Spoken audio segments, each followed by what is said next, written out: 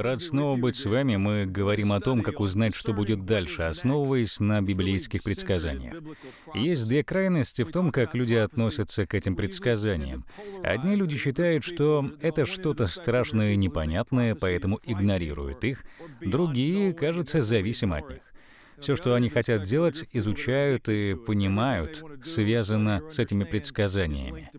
Слово Бога дано для нашей пользы. Бог дал нам возможность заглянуть в будущее, чтобы мы с вами были подготовлены. Но основная мысль нашей беседы проста. Бог заботится о нас. Он думает о нашем благополучии. Он настолько думает о нем, что приоткрывает перед нами завесу событий, которые нас ожидают. Точно так же, как лето сменяется осенью, а осень — зимой, и мы знаем, что будет дальше, Бог дал нам точно такое же знание об изменении времени через свое Слово. Я верю, что вы получите благословение от этой темы. Приятного просмотра. Тема нашей недели связана с предсказаниями, а именно с тем, что будет дальше. Можно ли найти в Писании признаки времени, в котором мы живем, и предвидеть то, что Бог собирается сделать, дабы нам сотрудничать с Ним? Думаю, что да. Мы будем три воскресенья изучать эту тему. Я молюсь, чтобы вы вынесли главную мысль. Бог заботится о нас, Бог заботится о своем народе на земле. Мы живем в период беспрецедентных перемен, глобальных перемен, связанных с катаклизмами, часто жестоких перемен. Кажется, что все непоколебимое колеблется. Псалмопевец описал это так, наверное, самым красноречивым образом, что если горы упадут в море, я не убоюсь. Дело в том, что Бог заботится о своем народе. Ему можно доверять. Мы учимся переносить наше доверие с вещей этого мира, доверие временным вещам на Бога, все полнее и полнее. Никто из нас еще не достиг совершенства в этом, в каждом из нас идет какой-то процесс. Но мы хотим научиться все больше доверять Богу в понимании, что Он заботится о нашей жизни, теле, душе и духе. Это легко сказать, но не всегда легко сделать. Я сказал уже, чтобы понимать время, в которое мы живем, вы знаете, что Иисус вернется на землю? Так же точно, как то, что Он родился в Вифлееме. Он вернется на землю в этот раз не в Вифлеем, а на гору Елеонскую. Это холм с восточной стороны Иерусалима.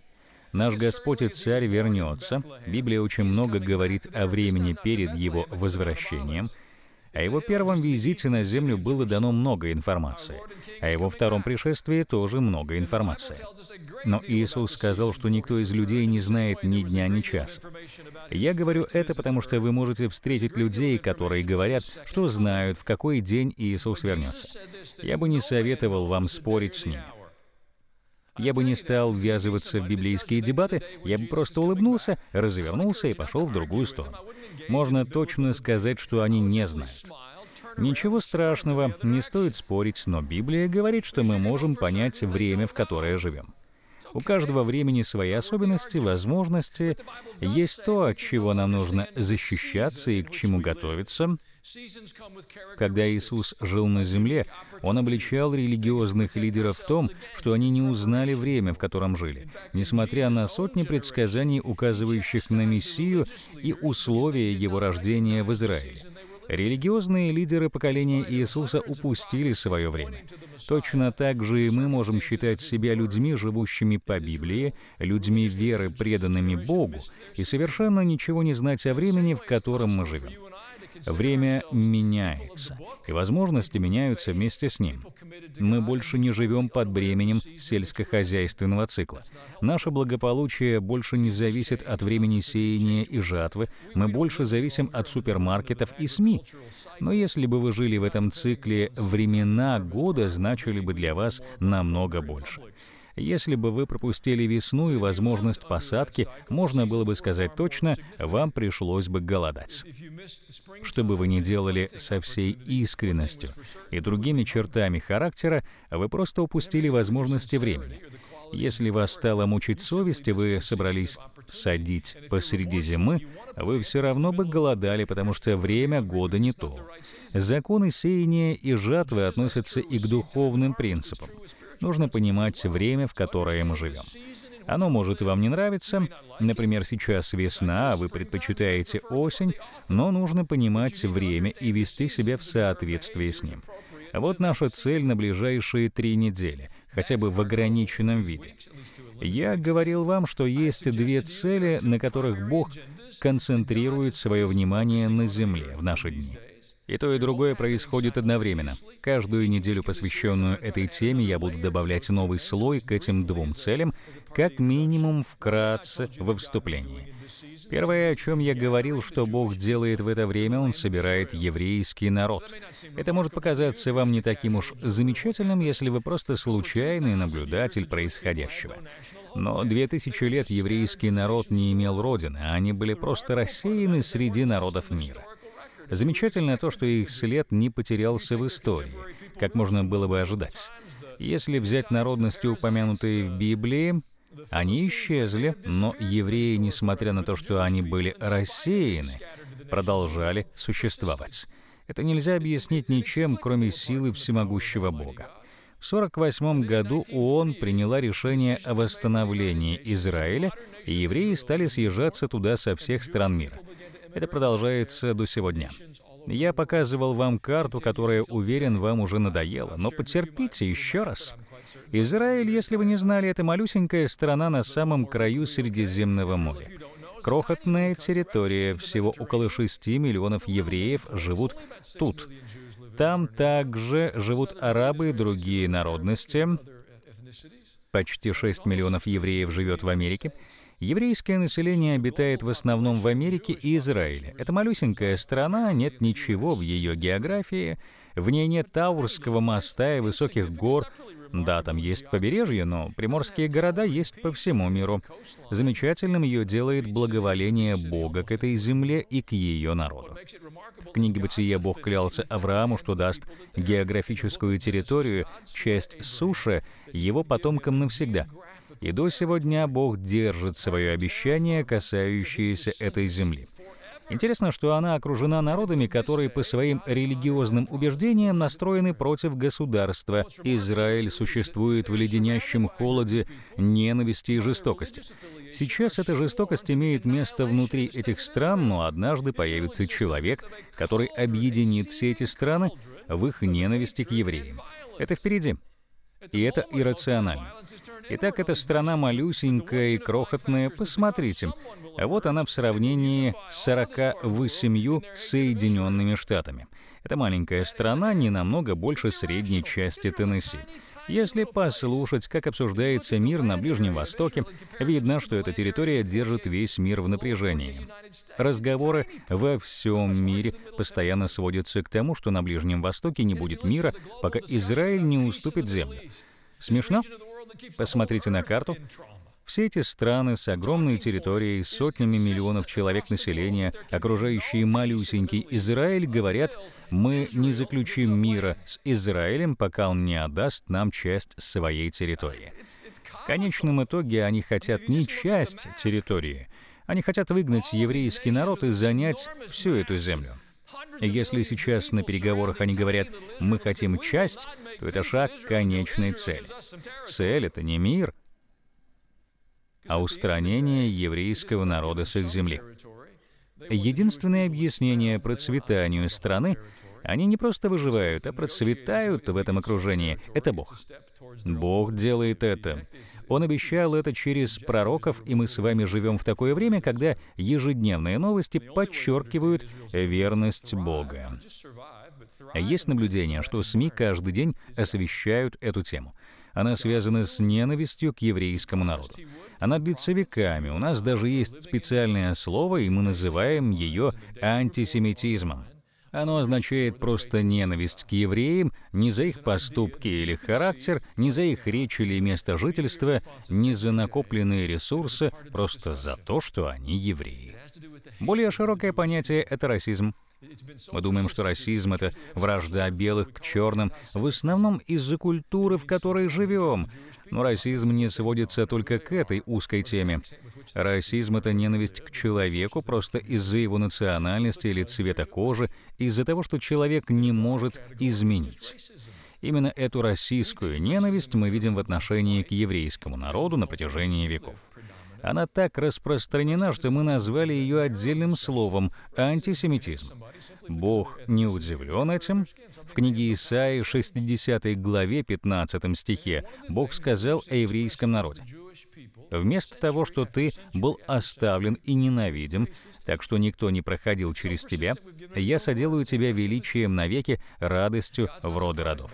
Бог сказал, вы будете ненавидимы всеми. Он сказал им об этом. Но Он еще сказал, несмотря на эту ненависть, я использую вас, чтобы принести радость каждому поколению. Это замечательное обетование, ведь если Бог может сделать это в жизни евреев, Он может сделать и в нашей с вами жизни. Когда вам больно, вы переживаете несправедливость, Бог может использовать эти моменты, дабы дать нам триумф. Антисемитизм продолжает существовать так долго во многих местах земного шара, потому что одним из величайших инкубаторов и носителей антисемитизма является Церковь Иисуса Христа. Это безошибочный исторический факт. Не буду тратить время на примеры, но могу сказать, что это началось с периода Нового Завета. В нашем Новом Завете об этом написано. В послании к римлянам 11 главе апостол Павел пишет церкви в Риме, самом влиятельном городе того времени. В этом городе была основана церковь, и Павел пишет ей — Итак, спрашиваю, неужели Бог отверг народ свой? Никак. Ибо и я, израильтянин от семени Авраамова, из колена Вениаминова, не отверг Бог народа своего, который он наперед знал. Мы с вами изучали принципы толкования Библии. Вот один из них. Если задается вопрос, то он задается не на пустом месте, а потому что есть какая-то проблема. Если в Библии говорится, что делать с быком, который бодает соседей, значит, у кого-то был бык, который бодал соседей. Библия говорит не унывать, делая добро, потому что мы иногда устаем, делая добро. У вас ведь тоже так бывает? Иногда я стою в очереди в кассу быстрого обслуживания в супермаркете, над которой висит большая вывеска до 10 предметов, и передо мной человек, у которого 36 предметов. Мне хочется дать ему карточку с надписью «Сегодня я устал быть добрым» и стукнуть его по голове или по плечу пачкой денег. Может, мне станет легче? Ты что, до десяти считать не умеешь? Молитесь за меня, прошу вас. Я вам точно говорю, если Павел пишет церкви в Риме и поднимает этот вопрос, неужели Бог отверг народ свой?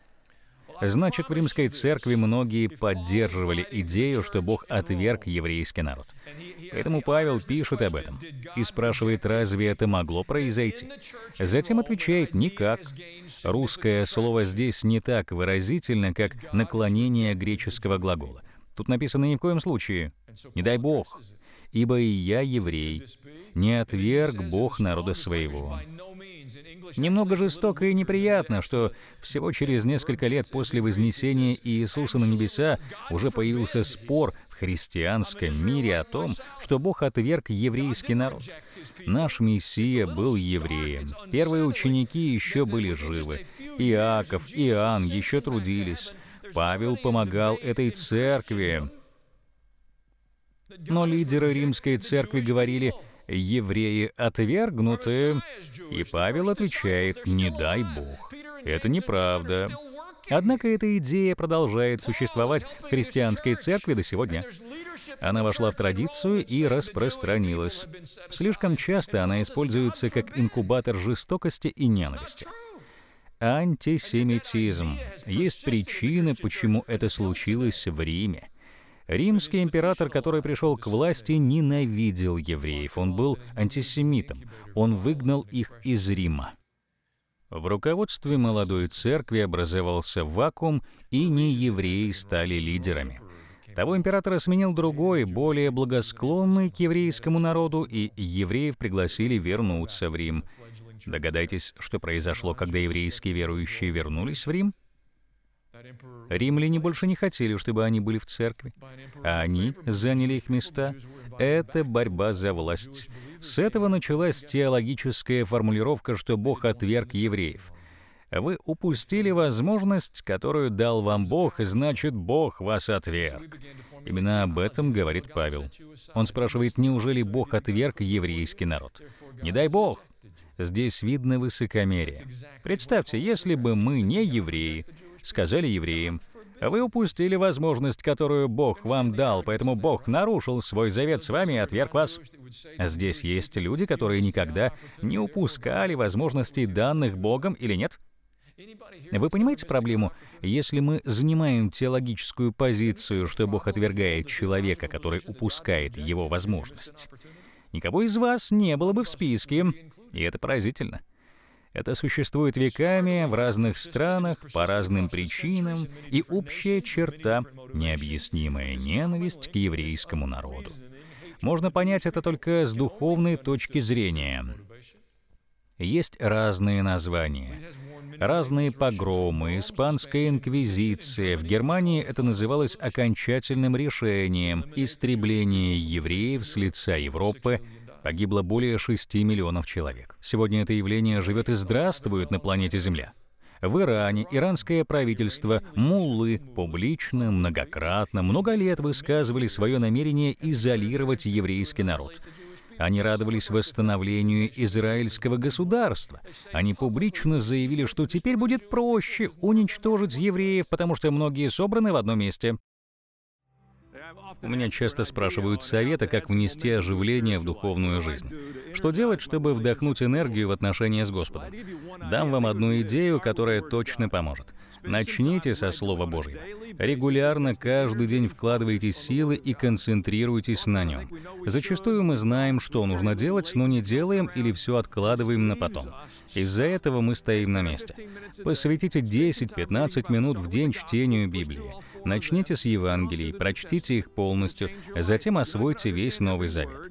Это изменит вашу жизнь. Возможно, не каждое слово вы поймете, не все города будете знать, и не все слова произнесете правильно. Но пока вы читаете Слово Божие, оно будет читать вас и принесет благословение Бога в вашу жизнь.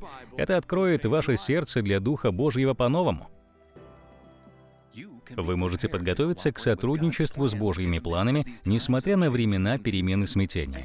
Как дар за вашу поддержку, сегодня мы вышлем вам комплект CD-дисков с тремя посланиями, распознавая, что дальше. Бог хранит вас. Пожертвуйте 50 или более долларов, и в качестве бонуса вы получите тематическую Библию в новом современном переводе. Божье Слово говорит нам, чего ожидать в эти неспокойные времена. Звоните нам по телефону или заходите на наш веб-сайт. Спасибо, что поддерживаете наше служение. Вместе мы несем перемены.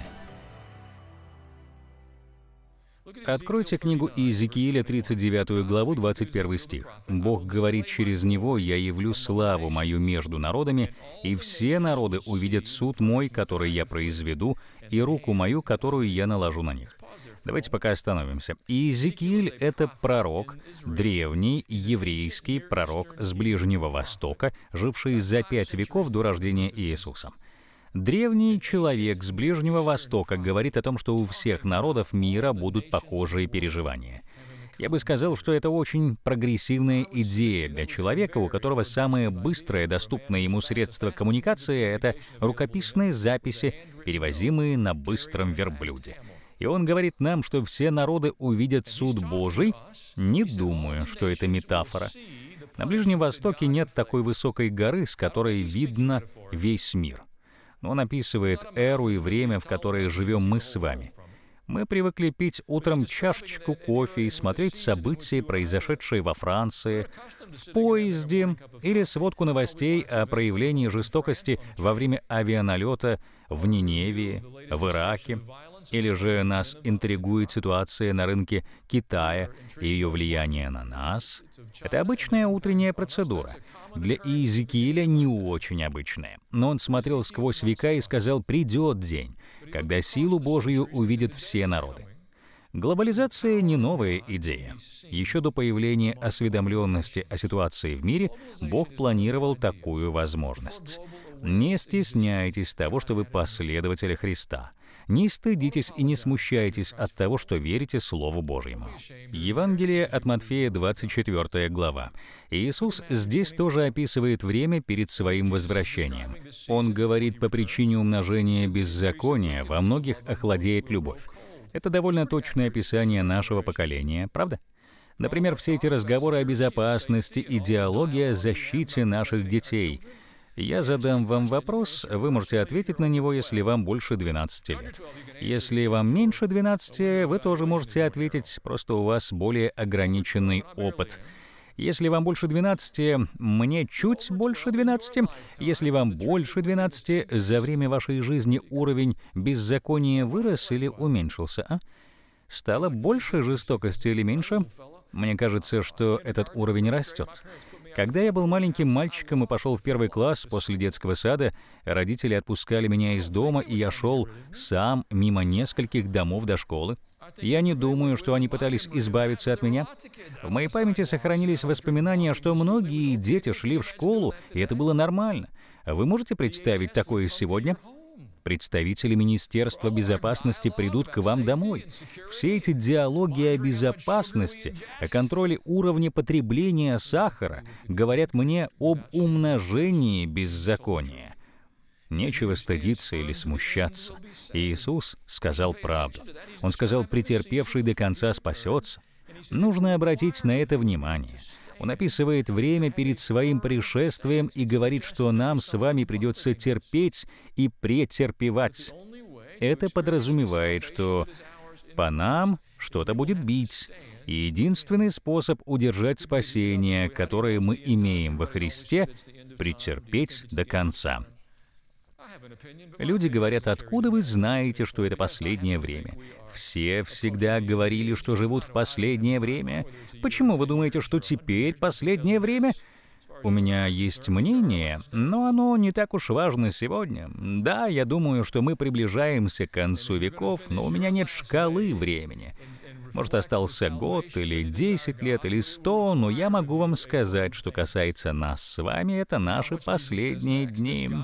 Если вы закончите свои последние дни и отобразите спасение, то есть нашего Бога, вам тоже потребуется для этого претерпеть до конца. Но теперь смотрите, что Иисус говорит дальше. «И проповедано будет Евангелие Царства по всей вселенной». Церковь Иисуса Христа играет важную роль в приближении дня, когда Иисус возвратится на землю. Ангелы не проповедуют Евангелие. Дух Божий не проповедует Евангелие отдельно от людей. Роль церкви на земле — проповедовать Евангелие Иисуса Христа. Не просто состоять в клубе «Благослови меня». Я не против благословений, но цель церкви — не только облегчить свою боль, решить свои проблемы, занять удобное место на парковке и ходить в современный магазин. Мы живем для достижения целей Царства Божьего. Сколько раз вы читали Библию, будь то рождественская история или удивительные рассказы о своих любимых героях? Давиде, Данииле, Исаии или Илье? Вы думали, наверное, как замечательно было бы участвовать вместе с Богом в этой истории на земле. Именно такое предложение сделано нам. Мы можем быть участниками в этом поколении, которые способствуют возвращению Господа. Есть кое-какие идеи, я думаю, вы их поддержите. Вот одна из них. Бог заботится обо всех людях на земле. Очень важно знать, что все люди ценны для Бога. Откровение, 7 глава. Иоанн видит видение небеса и святых Божиих, собравшихся перед Божиим престолом. Он пишет, «После этого взглянул я, и вот великое множество людей, которого никто не мог сосчитать, это не так удивительно, что святые Божии стоят перед Его престолом. Но Иоанн описывает людей, которых видит. Из описания, которое он нам дает, можно понять, что удивило его. Он не этого ожидал. Послушайте, как он описывает людей. «Великое множество людей, которого никто не мог перечесть из всех племен и колен, и народов, и языков, стояло пред престолом и пред Агнцем. Для нас с вами это не удивительно, но Иоанн — еврей. Его выбрал еврейский раввин Иисус из Назарета. Все остальные, которых выбрал Иисус для обучения, включая Иоанна, были евреями. Петр, Иаков, Андрей, Матфей и вся команда. Служение Иисуса было преимущественно направлено на деревни и города Израиля. Все, что переживал Иоанн в контексте его отношений с Иисусом, было преимущественно направлено на евреев. В день Пятидесятницы, когда Иисус вознесся на небо, и Дух Божий излился в Иерусалиме, это произошло, опять же, среди еврейской аудитории. Лидеры церкви, которых знал Иоанн, были евреями. Когда жизнь Иоанна подходила к концу, и все церкви начинали проникать в средиземноморские страны, ему было дано откровение о конце веков. Бог показывает ему свой народ. Иоанн понимает, что народ Божий, с которым Бог заключил завет, это потомки Авраама, Исаака и Иакова. И когда он смотрит на народ Божий, собравшийся вокруг престола, то что же он там видит? Можно представить его удивление.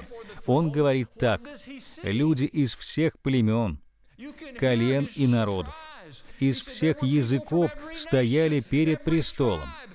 Какой урок для нас с вами? Урок очень простой. Все люди важны для Бога. В заключение хочу поделиться одной идеей, которая останется в вашем сердце. Она простая, но важная. Люди важны для Бога. Бога никогда не удивляют трудности, с которыми мы сталкиваемся, или непостоянство нашего сердца. Люди важны для Бога. Этому нет объяснения. Писание просто говорит, что Бог любит нас. Он любит нас так сильно, что послал Иисуса. Какие бы трудности вы ни встречали сегодня, как бы вы ни понимали Божье Слово, знайте, ваша жизнь важна для Бога. Бог призвал вас в это время. Я хочу помолиться за вас. Отец, благодарю Тебя за каждого человека. Я знаю, что каждая жизнь драгоценна для Тебя. Ты думаешь о каждом. Ни одна деталь не скрыта от Твоего взгляда. Я молюсь, чтобы Твое присутствие было для этих людей реальнее, чем любые трудности, которые они встречают. Чтобы они знали Твою исцеляющую, освобождающую силу, и чтобы Твой мир наполнял их сердца. Присоединяйтесь к нам каждую неделю, чтобы услышать новое глубокое послание пастора Алана Джексона. Заходите на наш сайт, адрес которого на экране. Откройте для себя множество информационных ресурсов, которые переведут вашу христианскую жизнь на новый уровень. На сайте вы можете поделиться сильным посланием. Мы хотим делиться нашей программой со всем миром. Но сможем это сделать только с вашей помощью. Сегодня вы можете стать нашим партнером. Также мы всегда будем рады видеть вас в нашей церкви. Добро пожаловать. Не забудьте заглядывать к пастору Джексону каждый день в социальных сетях. Спасибо, что были с нами и стали частью этого служения. Увидимся в следующий раз. До новых встреч с пастором Алленом Джексоном.